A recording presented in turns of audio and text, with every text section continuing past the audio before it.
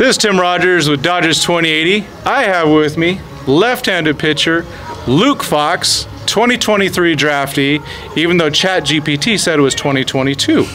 Uh, Luke, thank you for coming uh, coming aboard and uh, welcome to well a little late Rancho Cucamonga into the Dodgers organization. Thank right? you. Yeah, great to be here. Thanks for talking to me.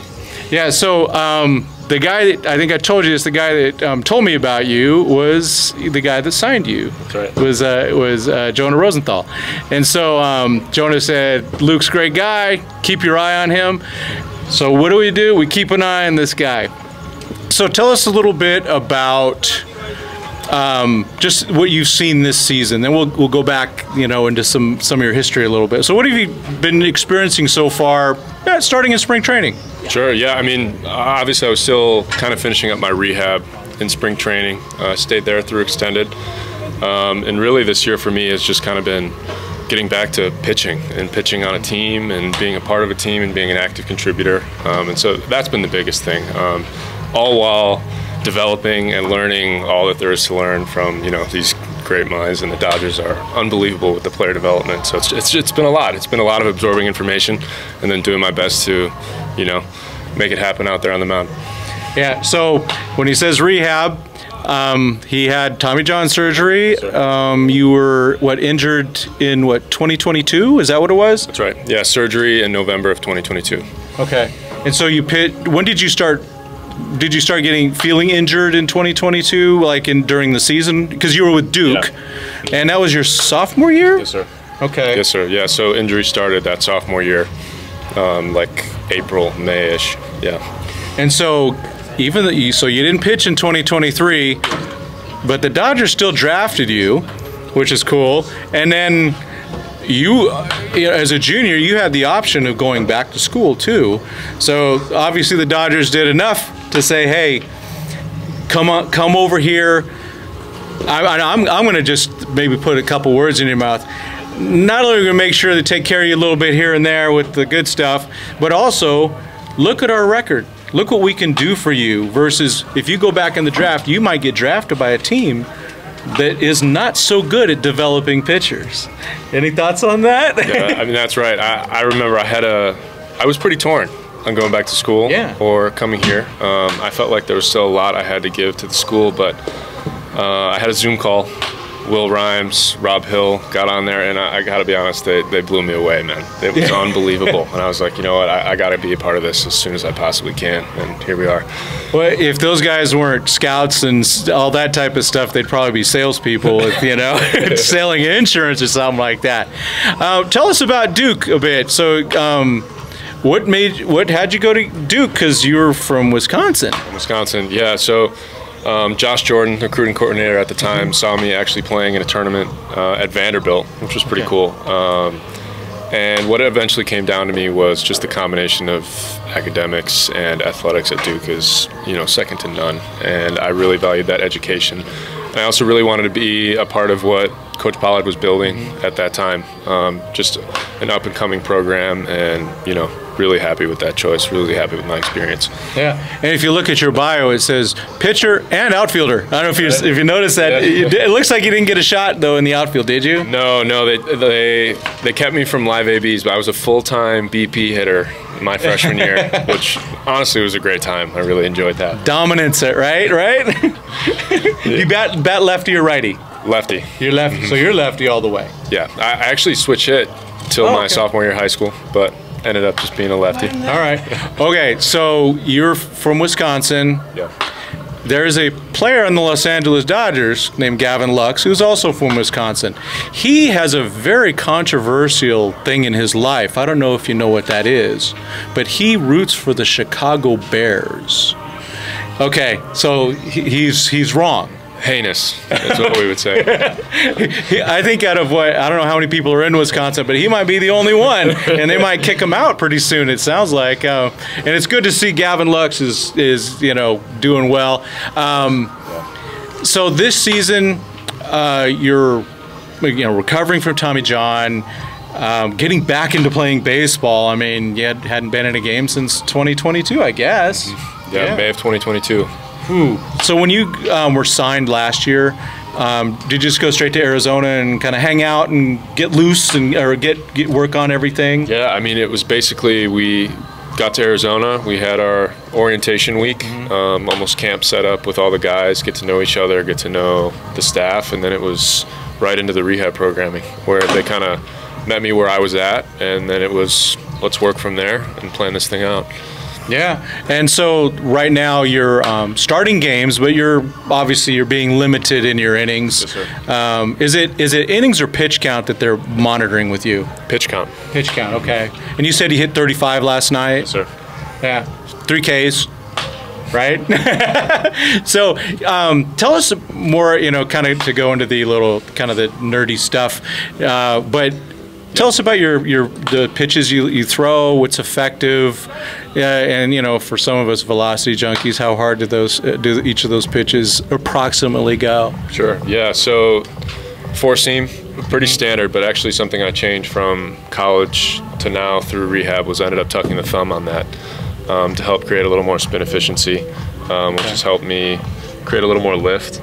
Um, so, I mean, it's been, for the most part, I've been 92, 96, touch of seven. But again, you know, the variability with coming off surgery has right.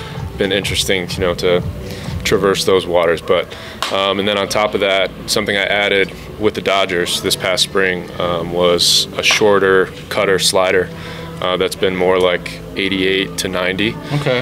Um, and then change up circle change, kind of pull both fingers off as much as I can. That's been a little more like honestly trying to throw that a little slower. It's been like 87, 90 as well. What do you do? You do you tuck it really in tight and then keep everything loose? Yeah, I kind of bury it and then so it's a circle yep. and then I basically just pull. It's a four seam circle change and then I pull that middle finger over as far as okay. I can, um, and just kind of feel it come off these fingers. So when um, just kind of a side note about the changeup. Yeah. Um, my I have a young uh, son. He's older now, but you know, going through baseball and he's a lefty and all that stuff. And the, when the, one of the coaches he had is that the changeup is just one of absolutely the toughest pitches to throw. I mean, you could ask Clayton Kershaw; he's still trying to learn how to throw it. That's right. At the same time, if you master it like Trevor Hoffman did, it put him in the Hall of Fame by the end of his career, he barely even threw hard, but everything was a lot of changeups, and they were still swinging at stuff that was in the dirt. So, I mean, what percentage wise, how many um, changeups in terms of percentage do you throw? It's been about, and the hard part too is you know with these shorter outings, yeah. those oh, yeah. those percentages just go like this um, outing to outing. So I think it's somewhere around 15 to 20 right now. Yeah. Um, but really, it kind of just depends on the game plan. Um, you know, maybe what I'm working on that given week.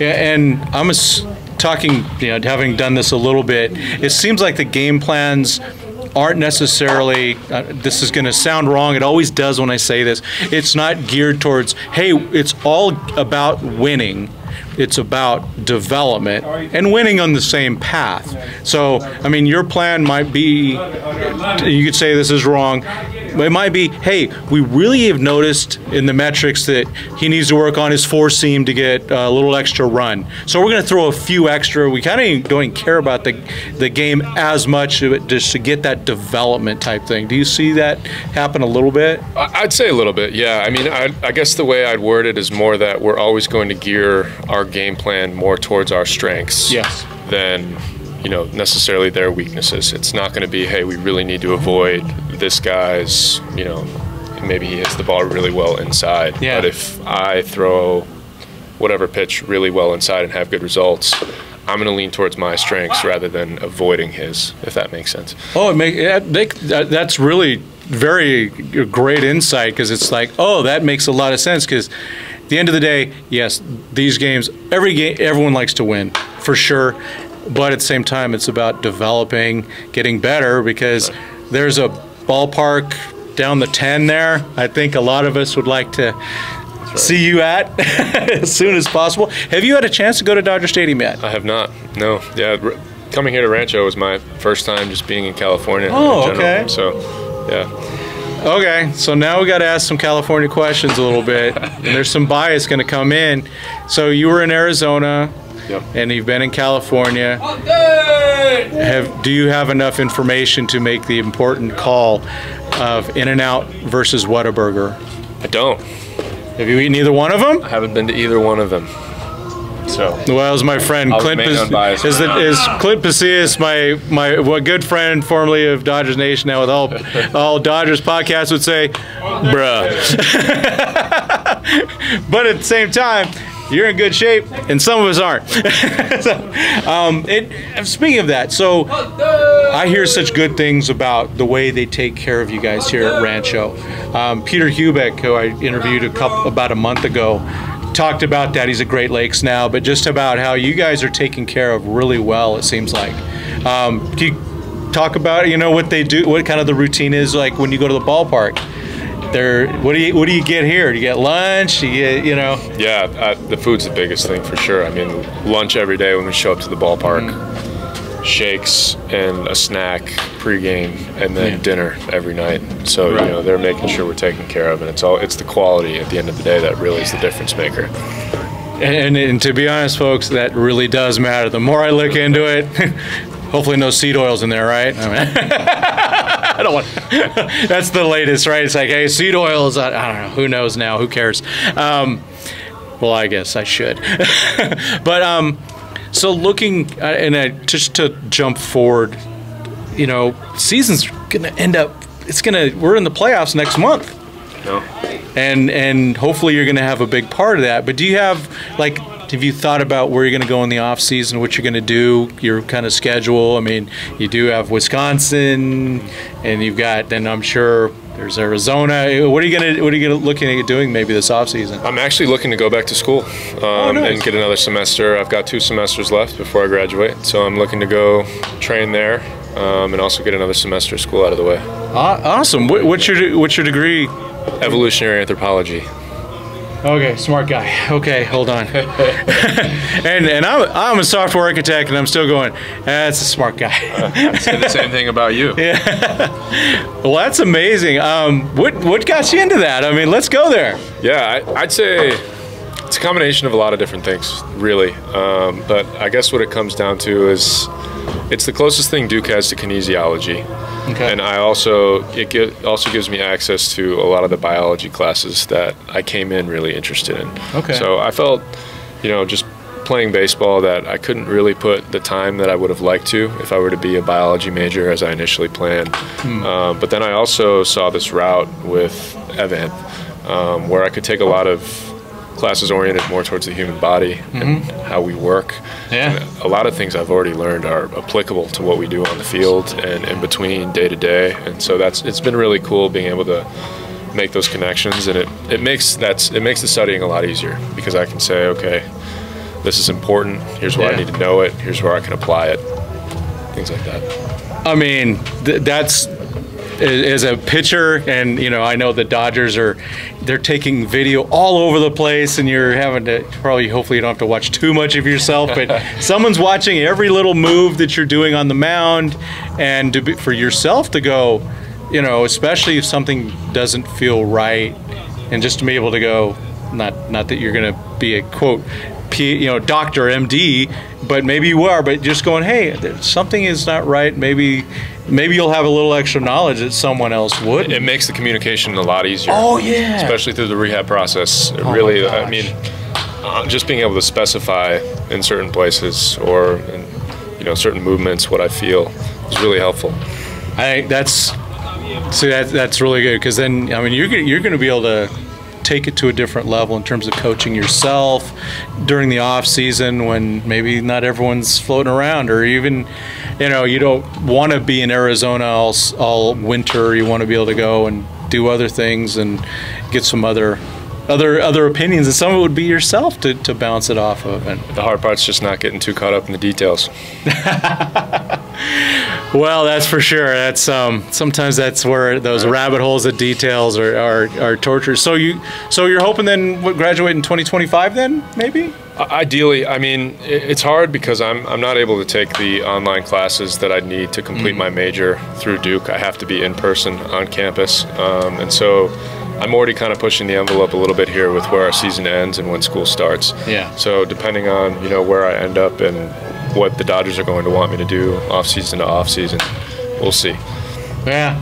Well, that's I mean See, we got smarter. The Dodgers do the things they look for. I know one of them is intelligence. Also, just good people. I mean, I think we you probably you see that as you come into the Noticed right organization. yeah, I mean, I was um, talked to to some other guys earlier, and um, you know, I, I sometimes I get blessed to get a press pass at Dodger Stadium. Doesn't happen much, but you know what? A lot of those guys that I covered back at Rancho back in the day, they still come over. They say hello. Hey, you know, just that. It is kind of it's a, that's quality of character. The Michaels right. Bros. I know M- Miggy Vargas is gone now, but he would be that way. James Outman. Pepiot when he was here, all sorts of, you know, all those guys, um, Gavin Stone. Um, you know, to speak of it, you know, Gavin Stone in 2021 was the opening day starter here. And now look at him, and he made his debut last year within a little more than two years of that. Yes, sir. Edgardo Henriquez knocking on the door. So, My guy. yeah, yeah, he's, he's I'll tell you a story offline. Um, it's a good story, but nothing bad against Edgardo. It would just it would too, be too long. Um, and then, you know, I guess uh, Wyatt Crowell, who did he, now is he also going, Is he, would he, did he also have Tommy John? Is that my Did- understanding? Yeah, we went through the majority of the process together. Okay. Actually. Yeah. And so he's maybe a little ahead of you in terms of pitch count. Does it seem like maybe? I I think it's just a development thing. Okay. Honestly. Um, Yeah. He was in a great position to move up. Um, Yeah. You guys, Gets to go take advantage of it. Yeah, very. There's, I mean, it's like, oh, you're both left-handed, both going through the same thing, same draft, all that. I mean, it's kind of cool, and it's good to see. As a left-hander myself, um, it's good to see the Dodgers finally getting some left-handers because that prospect chart would be dominated. The top 30 would be like 12 or 13 right-handed starters. Now it's time to get some lefties. Right, You're yeah. get you gotta get yourself up there soon. You got Wyatt. You got what's uh, uh, Ferris is in there. Bruns is going to be back in. He's I, Maddox was here, great kid. Um, Cop, so lefties galore. and I like to right, see it. Well, Luke, we appreciate you, man. Thank you very much. I appreciate getting Yeah. a chance to talk to you. Yeah. man. Thanks for talking with me. All right, man. Thanks again. Appreciate it. All right, man. Thank you very much. Mm-hmm. This is Tim Rogers with Dodgers 2080 with Luke Fox. Thank you very much. God bless and go Dodgers.